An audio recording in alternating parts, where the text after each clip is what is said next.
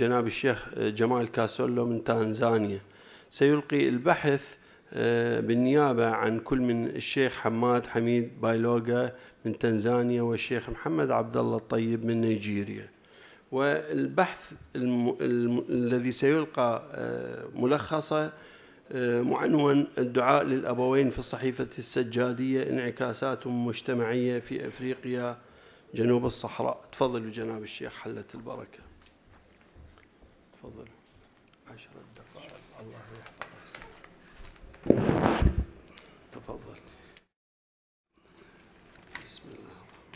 أعوذ بالله من الشيطان الرجيم. بسم الله الرحمن الرحيم. الحمد لله رب العالمين. الحمد لله وصلى الله على محمد وآله الطيبين الطاهرين. رب اشرح لي صدري ويسر لي أمري واحلل عقدة من لساني يفقه قولي.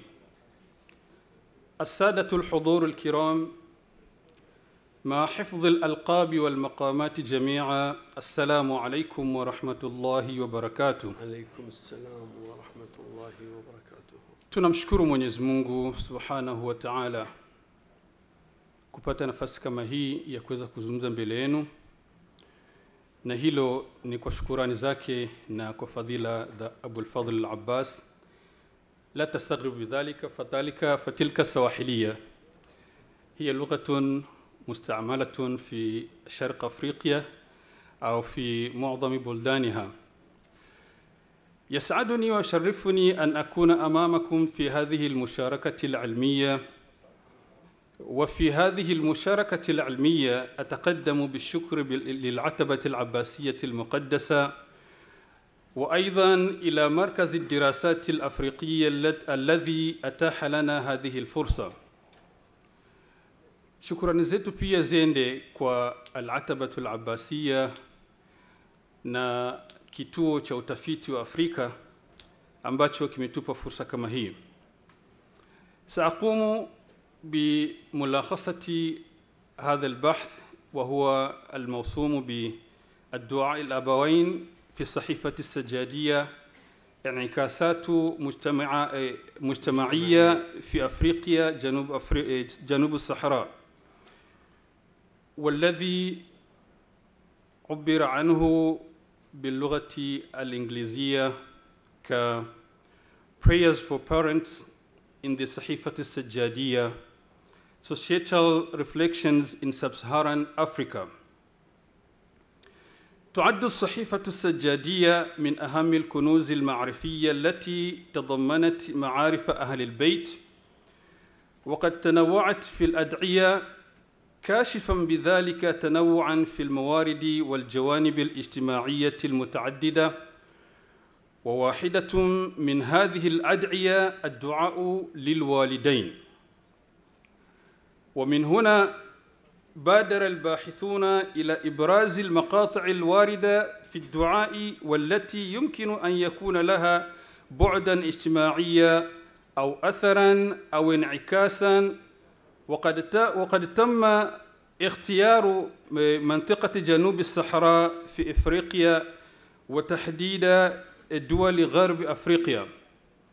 وهنا حينما نعبر عن دول غرب أفريقيا فمنها بوركينا فاسو نيجيريا السنغال وغانا وساحل العاج والنيجير وما إلى ذلك. ووفق اختيار المقطع من من الدعاء المبارز يتم اللجوء لبيان مفاهيمه ومعانيه والمقصود منه ثم محاولة بيان البعد الاجتماعي للمقطع من خلال معرفة مقدار تطابق الصورة الواردة في الدعاء مع المقطع الاجتماعي هناك. وفي حال تمت الموافقة أو المخالفة للصورة الاجتماعية التي- صورها المقطع في الدعاء ومن ثم تبدأ الصورة تتضح بمقدار الفرق بين الصورة التي يريد الدعاء عليها المجتمع والصورة الواقعية للمجتمع ما. ومن أهداف هذا المشروع هو بيان مقدار مساهمة التراث مساهمة التراث الديني في تحديد واقع اليوم وفق ما ينبغي. ومن أمثلة ذلك أن الإمام يطلب من الله أن يجعل للوالدين دعاء في أدبار صلاته. وهنا يتم العمل على طريق يتم العمل على طريق تحديد مقدار تطبيق هذا الفعل في المجتمع ومقدار التزامه به وذلك عبر المشا... المشاهدات والشهادات العيان لبعض المبلغين الأفارقة أو عبر الاستبيان المطروح بصورة محدد محددة للمنطقة مدار البحث. وقد تكونت هذه المشاركة بمطلبين. الأول الإطار النظري وتبيان الانعكاس المجتمعي لبعض فقرات دعاء الإمام لوالديه.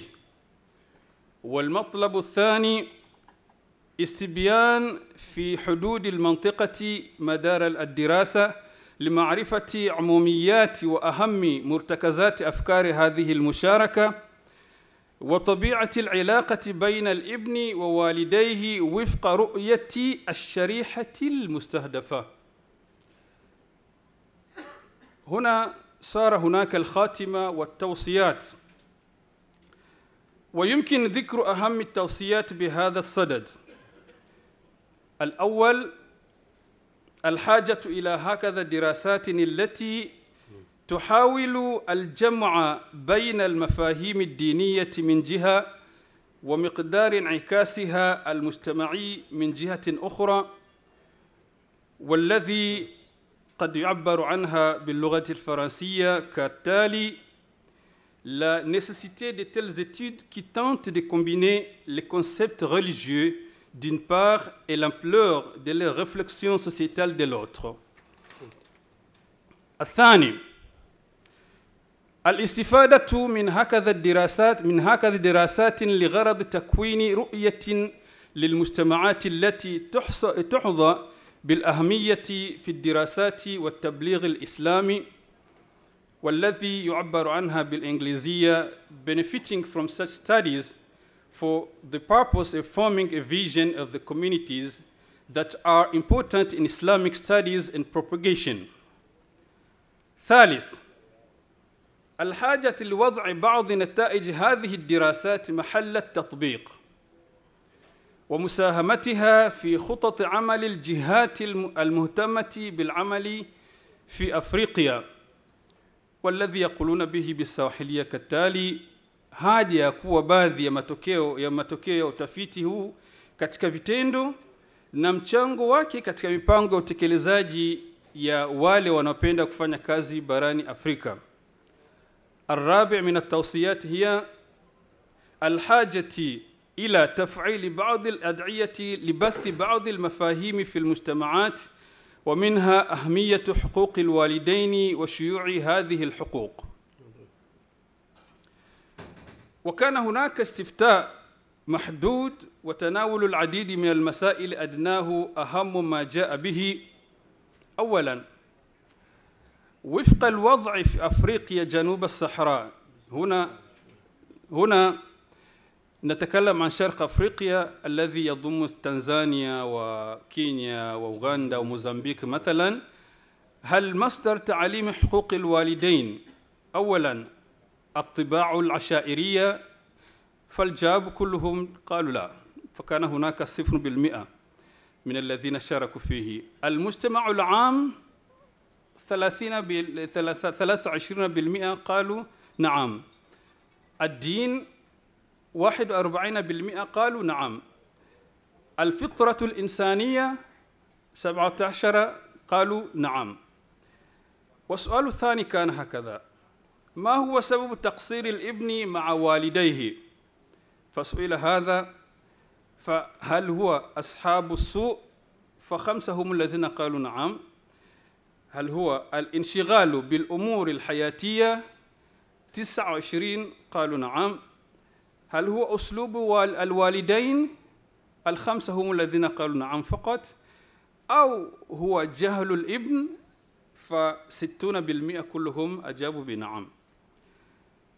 ثالث ما هو الغالب في مجتمعكم؟ استكثار قليل البر بحقهما فسبعة عشر قالوا نعم. أو استقلال, أو استقلال كثير البر بحقهما فواحد وأربعين بالمئة أجابوا بنعم. أو الاعتدال في التقييم فكذلك واحد وأربعين بالمئة. رابعا هل مفيد نشر دعاء الوالدين وخصوصا في أوساط المخالفين فتسعة وستين قالوا نعم وستة قالوا كلا وخمسة وعشرين قالوا نوعا ما وخامسا لو كنت شيعيا ووالداك مخالفين أو كفارا فهل سوف تطلب لهم الشفاعة الشفاعة يوم القيامة؟ هل يمكن تفكر ما هو الجواب؟ وتسعين بالمئة كلهم قالوا نعم فستة هم الذين قالوا لا. وآخر دعوانا أن الحمد لله رب العالمين وصلى الله على محمد وآله الطيبين الطاهرين. أشكركم بحسن استماعكم والعفو من تقصيري والسلام عليكم ورحمة الله وبركاته. وفقك الله يا شيخ. جزاك الله خير. شكرا جزيلا.